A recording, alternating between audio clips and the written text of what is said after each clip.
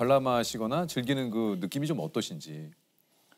일단 한국 관객분들이 세상에서 가장 젊은 축 중에 속하는 것 같아요. 그래서 되게 열광적이고 그리고 정말 조용하고 연주할 때 아, 물론 뭐 기침하시고 핸드폰 벨소리도 울릴 때도 있지만 다른 나라 청중들에 비해서 굉장히 조용한 편이고요. 그래요. 그래요.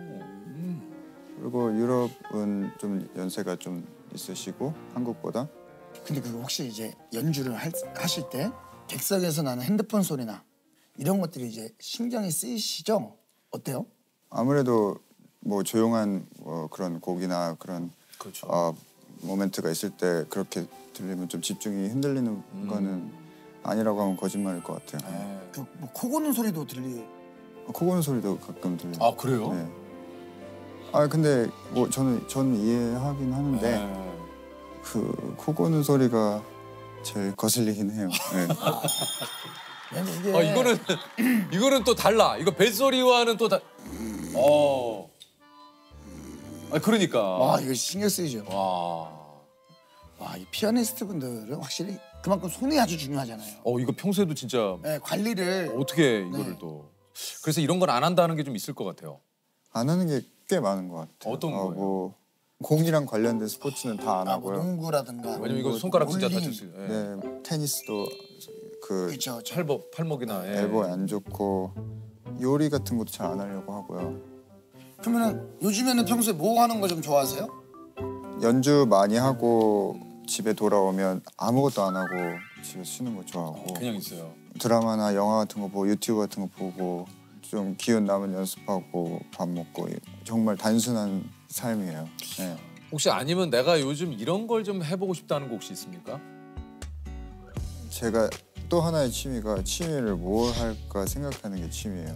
아 그래서 뭐랄까 어, 네. 뭘 할까? 네, 아뭐 할까 고민하다가 고민하다 보면은 이제 투어 떠나서 실행을 못 하게 되고 근데 또이 일주 이주 쉴 때 아 뭐 하지 뭐 좀 조금 심심한데 그러면 이제 또 또 시작되고 그래서 시간이 사실 많이는 없어요. 그래서 그렇기 때문에 먹는 게 취- 유일한 취미가 된, 된 것도 있어요. 고민하다가 뭔가를 해보자 하면 이제 자꾸 투어를 네. 가게 되니까. 아니 이게 우리 김혜자 선생님께서 선생님도 그 연기자라는 것을 직업으로 생각을 해본 적이 없다 이런 얘기를 좀 하셨는데 조성진 피아니스트도 뭐 이런 생각이 좀 있으셨다는 얘기를 좀 들었거든요. 예. 아, 네, 저는 아 물론 연주 끝나고 호텔 오면 남들 막 퇴근한 것 같이 그런 음, 시원하고 속 후련한 느낌이 있는데 항상 하루 종일 거의 음악 생각만 하니까 막 직업이라고 생각한 적이 없었던 것 같아요.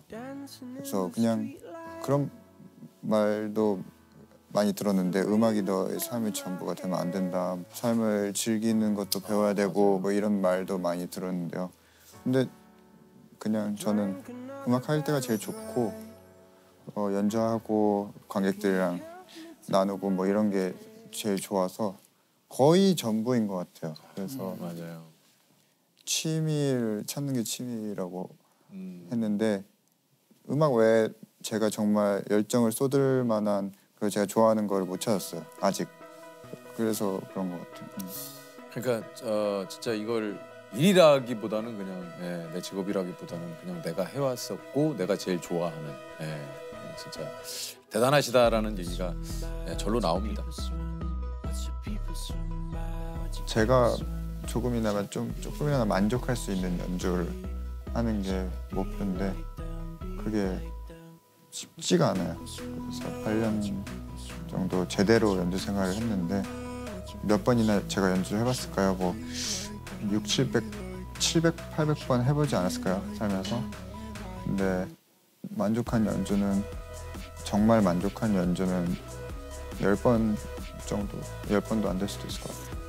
근데 그 횟수를 더 늘리고 싶은 게 제 마음, 마음입니다.